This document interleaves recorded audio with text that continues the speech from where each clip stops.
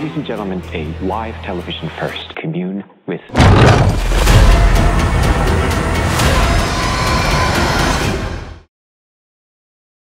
We are back in five, four.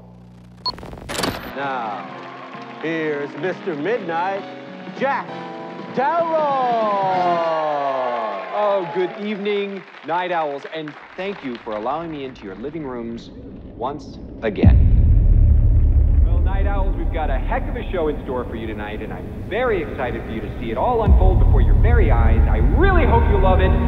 Gosh, I hope you love it. Please love it. Love it. I'm trying to host a nationally syndicated talk show. and I'm trying to help you keep it on the air. We all know how important it is to keep our sponsors and affiliates happy, but in my humble opinion, there is only one person who really matters in this whole darn crazy business. And that is you, our viewer. You're meddling with things you don't understand. Whoa! Now, as you know, here on Night Owls, we think it's very important to keep an open mind.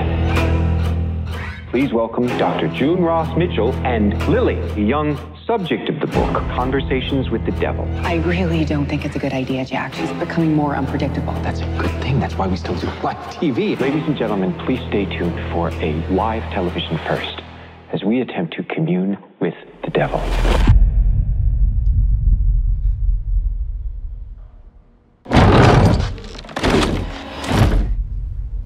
Lily, can you hear me?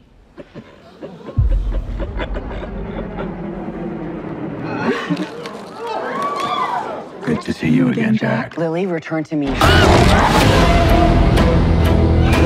This isn't about ratings anymore. No one's going anywhere. How could you let it happen, Jack?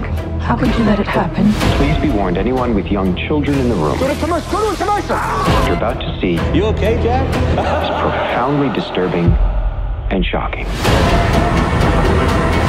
You get out there, Mr. Midnight, and you knock him dead.